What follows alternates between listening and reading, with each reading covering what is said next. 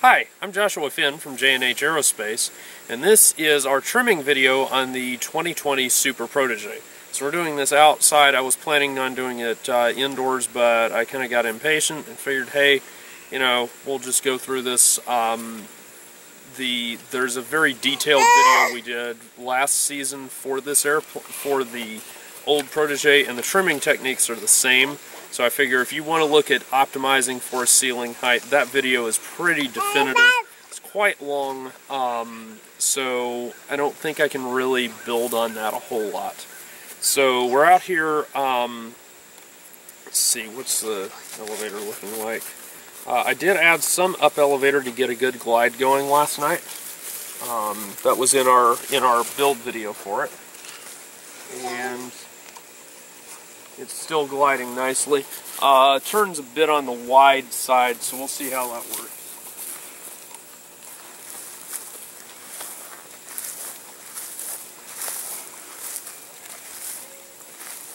So we have, I'm using our precision launcher that we've got this year, the uh, deluxe version with the uh, trigger release and whatnot. So we're operating uh, straight off the bat using uh, that device.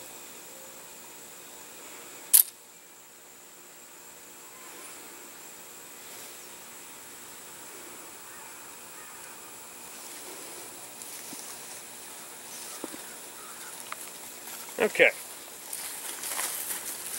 Um, I think the glide is maybe a little nose heavy, I'm not sure.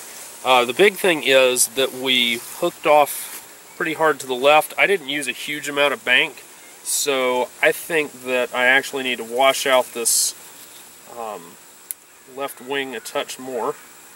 And then we need to add some flap camber back in to compensate for that.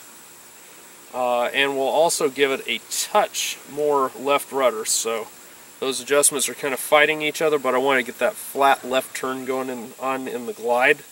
Uh, it's still turning a bit wide for a lot of your indoor sites.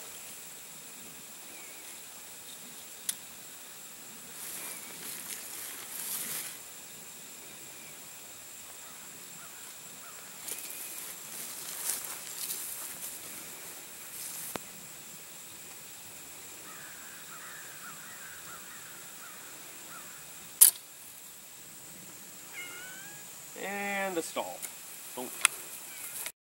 Okay, so um, that that flight it just went up and it stalled and, and, came in. Now that was because I didn't use enough bank, but I noticed something. I don't know if you noticed. The descent was just straight like this. It never pulled out, and that means that we need some up elevator. as we want the airplane to gradually tend to pull out may have to add a touch of, nose, of nose weight to compensate. We'll find out here in a minute.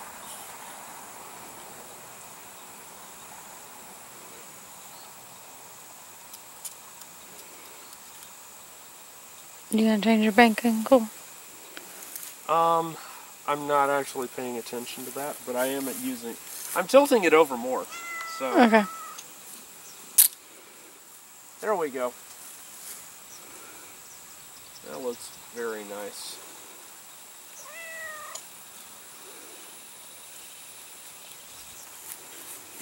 Okay, so what we notice, the airplane is very, the air's not extremely calm out here. There is some air movement, and the airplane is not stalling at all. So I'm actually going to take a little bit of clay off. Um, now, optimum gliding is not necessarily right on the edge of a stall, so you don't want to just try to make it mush too much. Um, but I think we are flying a little on the nose heavy side. Um, other than that, the launch looked great. I will say that was probably a little flat of a launch. So we're not getting any exceptional height here. Let's see, and I do have my stopwatch configured here. Oop. I don't know what I've done wrong, but I've done something wrong. I must have gotten it wrapped around there.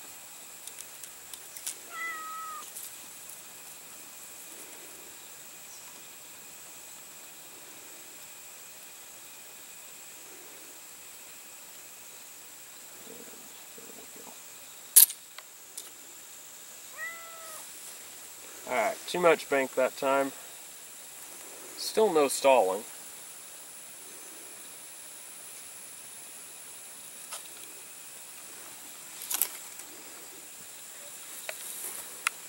Actually going to try adding just a tiny bit more up trim. So all I'm doing is just creasing the trailing edge of the stab a little bit right there.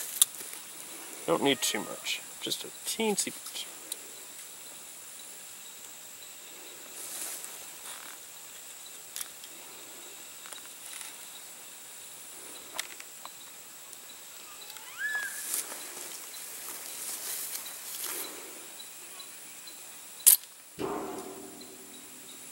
Never mind the diesel can back there.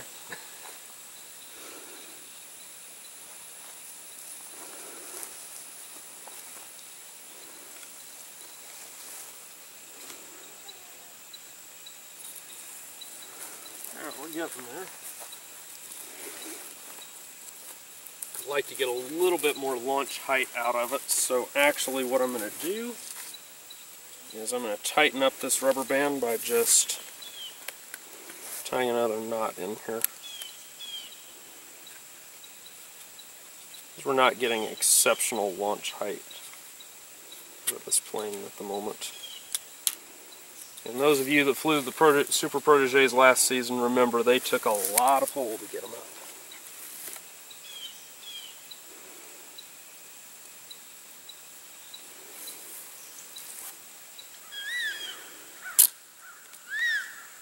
Much better.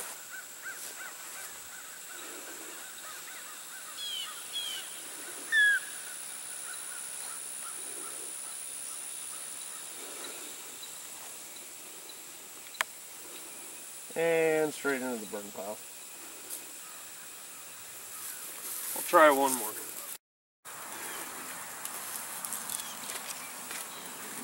It is not dead calm out here, I know that much. Tail keeps getting blown off here.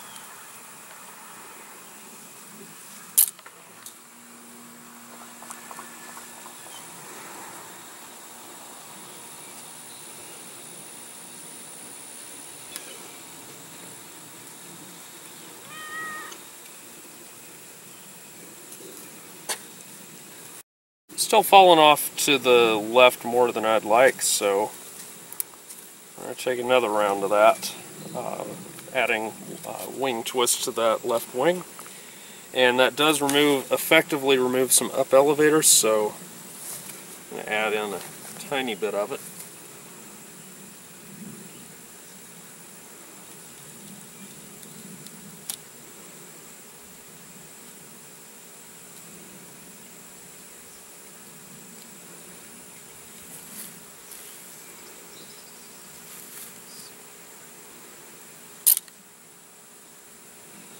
Well, that that adjustment was effective. Alright, I'm going to try just adding some more bank angle instead of spiraling down the thing of adding, well, more rudder and more wash and so on. So we'll do that. And there we go. Perfect.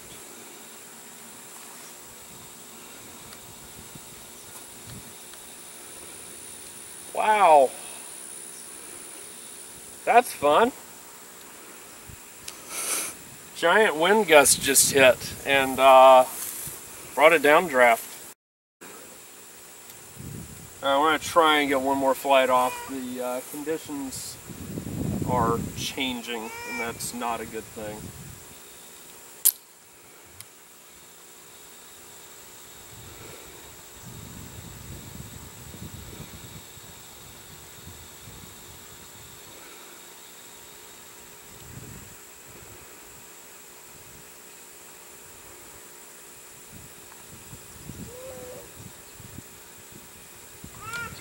Alright, so that was 20 seconds. Alright, so, um, I'd like to show you more footage, but the conditions are deteriorating here as far as it's it's getting breezy. I, there's there's some storms in the area, and there's, you know, we had a window where maybe we could trim a little bit, and that's the best we're getting for this evening. Um, but I've covered everything as far as the flight trim. You've got that the airplane is going up, transitioning into a glide, and it's a good glide. So you can tune in from there. Um, and again, we have a video that'll be we'll link in the description for trimming the uh, last year's version of this airplane, and the trimming process is, is exactly the same for um, you know it's it's the same basic design. All of the principles apply, um, and and you can trim any flap glider really that way. So somebody has a flat tire, fun times. Um, so questions, comments, uh, put them in the comments section below. I will uh, I will mention again, this airplane I did not use the best wood on it. Um, I just used, grabbed some kind of cruddy 1 16th to build this out of, so it's a little heavy.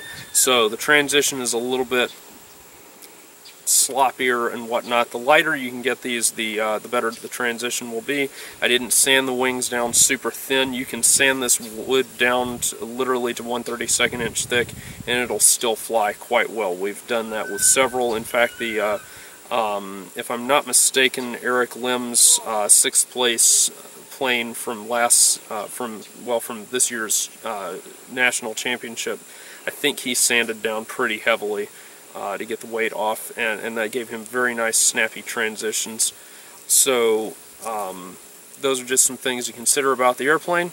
And like I said, uh, questions, comments, comment section below. Plane is currently available and shipping on our website. We even have the nice uh, earplug foam bumpers on these. So uh, it should be a very enjoyable airplane for you to fly. And um, hope you have a good time flying these and we'll see you at the contests. Hi, I'm Josh Finn. This is Hope. We are J&H Aerospace. If you like this video, hit the like button. Also, how about subscribe to our channel and check out jhaerospace.com for new free flight products and all of the tooling that you'll need to build them. Thanks for watching.